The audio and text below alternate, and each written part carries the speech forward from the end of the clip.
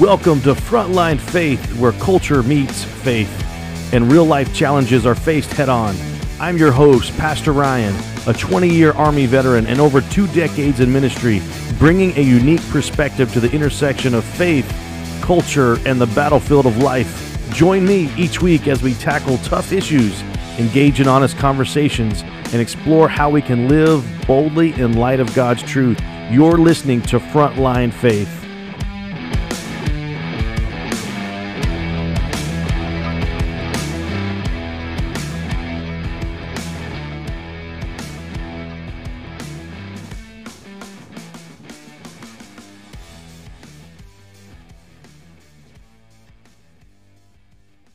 Welcome back. Today, we're diving into two critical and timely issues that intersect faith and culture the power of political rhetoric and its consequences, and the toll PTSD takes on our veterans. And finally, we'll tie these conversations to the idea of living life coram deo. It's a Latin phrase. Stick around to find out more.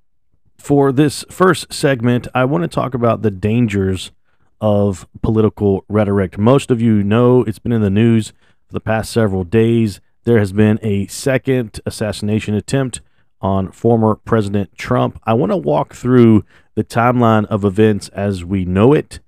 On uh, September 15th, 2024, early in the morning, 1:59 a.m. approximately, Ryan Wesley Routh's or Ruth's cell phone records indicate that he was present at the Trump International Golf Club there in West Palm Beach, Florida. He remained there, hidden in the bushes and the trees, for nearly 12 hours. Uh, midday that day, September 15th, there was a security alert. Um, he's this this individual is a convicted felon. He's spotted near the golf course with an AK-47 style rifle, and Secret Service agents then identify him as a potential threat. Many media outlets are saying no shots are fired, uh, but the alleged assassin uh, he pointed his weapon at law enforcement. There was a scope. There was a, a, barrel that was seen. Secret Service quickly intervenes and they prevent the assassination attempt. That afternoon, 214, he is pulled over by law enforcement while attempting to leave the area. He acknowledges knowing why he was stopped and is subsequently arrested without incident. The vehicle he was driving was found to be stolen. There was an investigation on September 16th Federal and local law enforcement agencies, including the FBI and the Palm Beach Sheriff's Office, launched this full scale investigation, interviews, and uh, uh, with witnesses and the family uh, members of this individual. And it's it's a lot, right? Um, there's these ongoing issues. Uh, this individual is charged with unlawful possession of a firearm as a convicted felon. Uh, the Justice Department is involved in the case, pledging to ensure accountability. Uh, former President Donald Trump thanked Secret Service on X uh, for their swift action, and he talks about this at length um, on X and other outlets now. The, I guess, the current director of Secret Service says that the golf course was not, I guess, totally swept um, in in all but saying, you know, we don't have enough officers, things like that. The for, uh, the current president has said Secret Service needs help. Maybe it's financial, maybe it's more officers. I I want to talk about just why we're here, where we're at uh, at this present time in our country. It is a dangerous, dangerous place to be when people attempt to assassinate political leaders. I think it stems from rhetoric being used.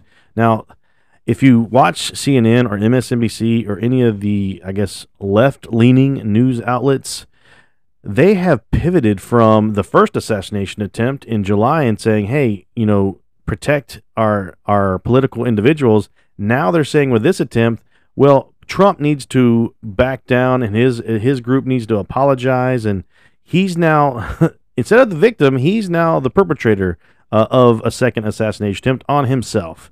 I want to just highlight some things. Rhetoric is important when we use it uh, in the media, when we use it on, you know, uh, interviews, things like that.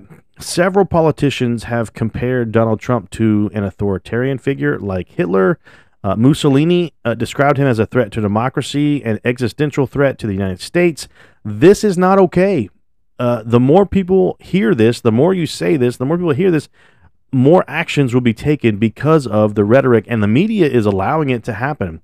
Uh, our current president, Joe Biden, has repeatedly framed Trump and his movement as an existential threat to democracy, uh, particularly in the 2020 campaign uh, and you know beyond. Since then, in speeches, uh, President Biden has argued that Trump's actions, especially around the 2020 election, demonstrate his willingness to undermine democratic norms. Kamala Harris, vice president, running for president, uh, has joined in this rhetoric describing Trump as a significant danger to the future of American democracy. Their rhetoric, uh, rhetoric often points to Trump's actions uh, and his words, but it's not okay to say he's an existential threat or a threat to democracy. He's been in office, he was the president for four years, and there was no threat to democracy.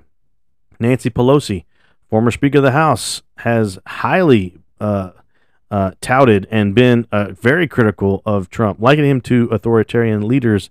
And she's uh, referred to him as a danger to our democracy, a threat to our democracy. There have been people all over the news today that they found news bites saying that Trump needs to be eliminated. All these things, it's not okay to say against your political opponent. Ah, with that said, here we go. I want to discuss the importance that words have in shaping our hearts, but also our actions. Faith meets culture. What does the Bible say about rhetoric and the way we use words and sentences and statements against others? Here's some proverbs, and uh, this is just from the book of Proverbs. There are many other passages uh, that refer to the tongue and taming of the tongue, but Proverbs 12:18 The words of the reckless pierce like swords, but the tongue of the wise brings healing. Proverbs 15:1 A gentle answer turns away wrath, but a harsh word stirs up anger. If you continue down a political rhetoric that is dangerous for others, it stirs up anger and hate and evil uh, uh, in all kinds of ways. Proverbs 15:4 the soothing tongue is a tree of life, but a perverse tongue crushes the spirit. Proverbs 16:24 Gracious words are a honeycomb, sweet to the soul and healing to the bones. Proverbs 18:21 The tongue has the power of life and death, and those who love it will eat its fruit. Proverbs 21:23 Those who guard their mouths and their tongues keep themselves from calamity. The divisive nature of the current political rhetoric leads to dangerous outcomes, including violence that we've already seen. I want to challenge you uh, and, and myself and the political leaders listening. Consider how we use our words. Do our words promote peace? Do they promote understanding? Do they divide or harm or bring about evil actions? Words matter, sentences matter, statements matter, political turmoil and the rhetoric that we use matters. Get back to the issues. What's about what's going on with the economy? What's going on with the border? What's going on with our our kids and and educational future? Like go back to the important things. Stop the rhetoric. Both sides need to take a step back and realize that their words move people. The media needs to take a step back and realize what they put on the air matters. It moves people. Like here here's a here's just a warning to everyone listening to this podcast. The media that you watch, the music you listen to, the movies you watch, like whatever it is, it's it's there to move you, to influence you to do something, to vote a certain way, to buy a certain thing. Unplug and just focus on what matters. Your faith matters. Your family matters, right? Your neighbor matters. I want to shift gears here now and talk about some of our neighbors. PTSD in our military and our armed forces is a huge topic. It's something that's been weighing on my heart, but also the nation's heart for years uh, through the Afghanistan war, the uh, war in Iraq, the you know, Vietnam, even World War II, uh, men and women who have served. It is PTSD. So, what is it? Um, it is a mental condition triggered by experiencing or witnessing traumatic events. And in this case that we're talking about, uh, war, military, things of that nature. For military personnel, this is often includes the horrors of combat, the loss of brothers and sisters in arms, or even life-threatening experiences. According to some statistics here, um, as of 2023, roughly 11 to 20 percent of veterans from Operations Iraqi Freedom and Enduring Freedom experience PTSD. I would add inherent resolve. And to our current vice president, yes, we still have troops that are in combat operations around the world. Pay attention to what's going on. Around 30% of Vietnam veterans um, say they have experienced PTSD. I would say that would be a lot higher than that. Uh, Gulf War veterans, around 12%. The suicide rate among veterans is over 50% higher than that of the general population, with an average of 17 veterans dying by suicide every day. These numbers are heartbreaking, but they paint a clear picture of how profound the impact of trauma can be on those who've sacrificed so much for their country. I want to kind of pause here and say I don't really share a lot about my background on the podcast, and I may do an episode of just you know kind of my just my story um, I've experienced being deployed in a combat zone, uh, uh, doing uh, participating in combat operations, and I wasn't the guy kicking doors in, but I did experience life-threatening moments and circumstances, and I still deal with those today. And I, am gonna. PTSD is very, very real, and I wish no one, not even my worst enemy, the uh, the effects that it has on the brain, on the body, emotionally, physically. Um, it affects so much of a person's day that's walking through P- PTSD. Um, but beyond the clinical symptoms, um, flashbacks, nightmares, anxiety, you know, those are just a few. There's often a deep spiritual toll. You know, many many veterans experience feeling uh, uh, um, feelings of guilt, shame, isolation, the sense of having witnessed or participated in things that feel impossible to reconcile can lead some even to question who they are, question life itself, but question their faith, their purpose, or even find a place in this world. When you think about what you've experienced in a combat zone, in war, and you come back home, that doesn't equate to employment. That doesn't equate to integrating back into a family. Uh, for current service members, the constant stress of deploying uh, and the weight of responsibility can heighten the risk of PTSD. It's more than just a psychological battle, it's a spiritual warfare. The enemy wants to drive them into despair. But this is where the message of the gospel shines the brightest. As believers, we hold on to the hope that Jesus Christ is the ultimate healer. He promises peace and that transcends understanding, and no wound, physical, emotional, or spiritual, is too deep for his love to heal. Psalm 34:18 reminds us the Lord is close to the heartbroken and saves those who are crushed in spirit. This promise is especially true for those suffering from PTSD. Churches and faith-based organizations can play a vital role in supporting veterans, providing community. A sense of isolation often deepens the wound of PTSD. The body of Christ can offer veterans a place of acceptance and belonging. Faith-based counseling while secular therapy is important, integrating a biblical worldview into treatment can provide deeper healing. Christian counselors can help veterans see that God's grace covers even the deepest traumas and regrets, the wounds of war. Scriptural encouragement. Pointing veterans to God's word reminds them of their identity in Christ. Romans 8, 38 and 39 assures us that neither death, nor life, nor angels, nor demons, Nothing will be able to separate us from the love of God that is in Christ Jesus. Next, I would say, hey, prayer and support. The power of prayer is transformative. Families, friends, and church members can stand in the gap, interceding for veterans and providing consistent encouragement. If you're listening today and you're a veteran and or you know someone who is battling PTSD, know that there's hope in Jesus. His love is stronger than any trauma, and His grace is sufficient for every wound. Reach out to your local church, a Christian counselor, a support group. Remember, you don't have to carry this burden alone. The path to healing might be long, but Christ walks it with you. Stay connected to Him and let His peace bring transformation to your heart and to your mind. Matthew 11:28 Come to me all who are weary and burdened and I will give you rest. There's no greater words than Jesus. Hey, again, listeners, be proactive in supporting veterans through compassion, through prayer, through mental health advocacy. Uh, if you know someone, say something, walk with them, uh, be with them, help them find a community, help them find people that can walk with them and listen to them. And it might be you. You might be walking around saying, you know, I could do more uh, for my neighbor. Maybe this is the call to action for you.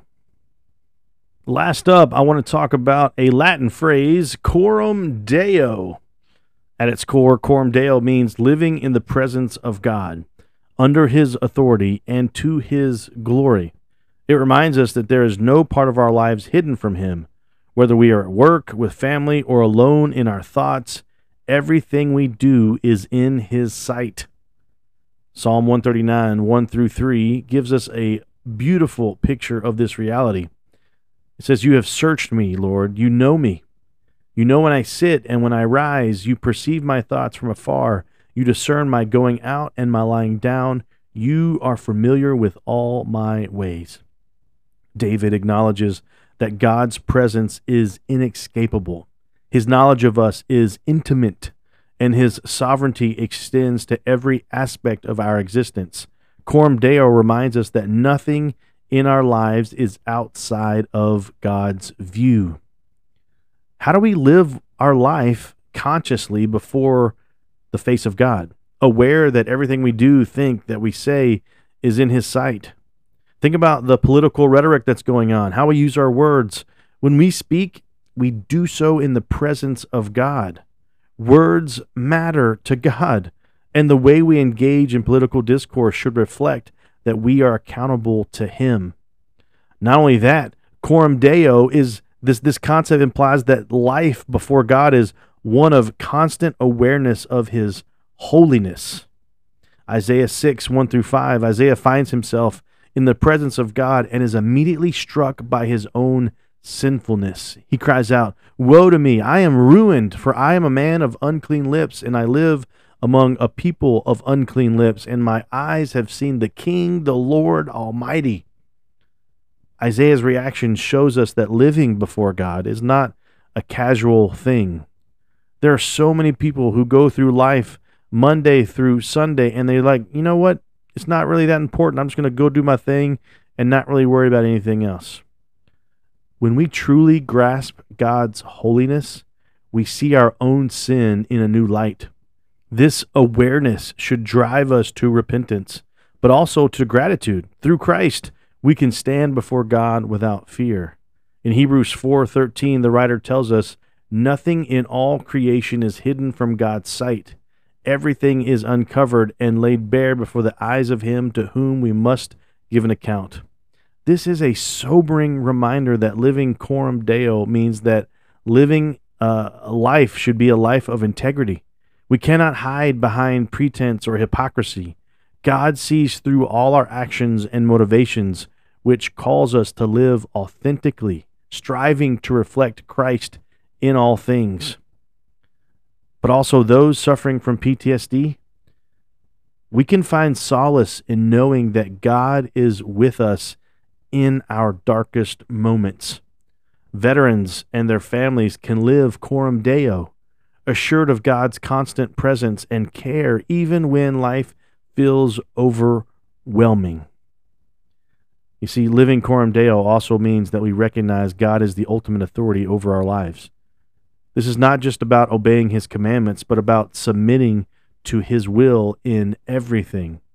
Colossians 1 16 and 17, Paul writes to the church and he says this For by him all things were created in heaven and on earth, visible and invisible, whether thrones or dominions or rulers or authorities, all things were created through him and for him, and he is before all things, and in him all things hold together.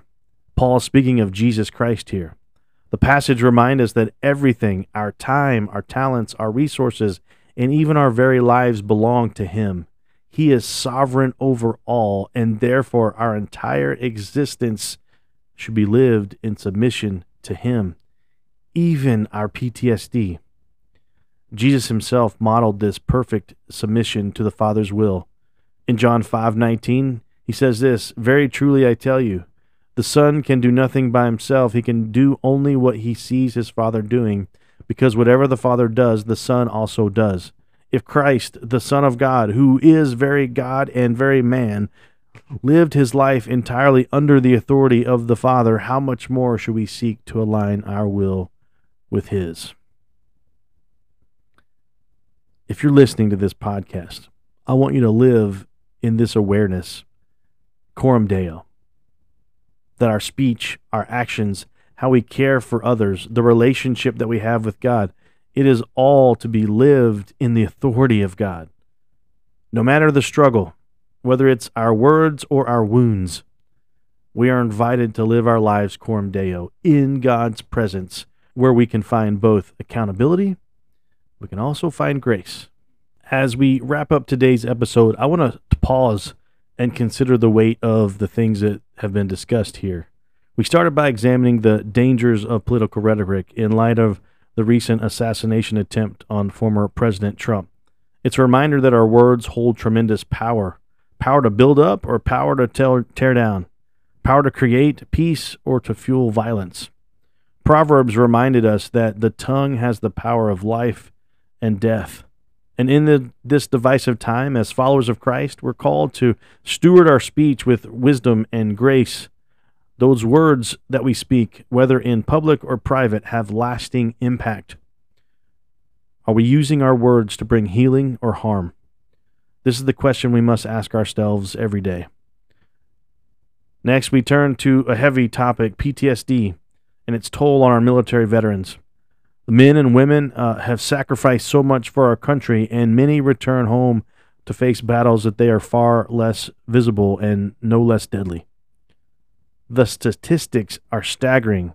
Around 17 veterans take their own lives. That's 17 souls every single day crushed under the weight of trauma. For those of us in the faith community, this cannot be a silent tragedy. We are called to be agents of comfort, to come alongside our veterans, reminding them in that even in their darkest moments, God is near the brokenhearted. If you're listening to this podcast and you're battling PTSD, know this there is hope and there is help. Jesus calls to you, offering rest for your weary soul. But perhaps the greatest takeaway from today is that no matter what we face, whether it's the violence stirred by reckless words or the silent wounds of trauma we are all called to live our lives coram deo before the face of God. When we live coram deo, we recognize that every word we speak, every action we take, and every burden that we bear is done in the presence of the one who created us. And he sees it all, and he cares deeply for us. So, let us be mindful of our words, knowing that we will give an account for them. Let us support and care for our veterans, acknowledging the unseen battles they face. And above all, let us live each moment in light of God's presence, knowing that He is with us, guiding us, sustaining us, and reminding us of the grace that is ours in Jesus Christ. Thank you for joining me today on Frontline Faith, where faith and culture meet. Till next time, may we walk in the presence and peace of God, living each day coram deo.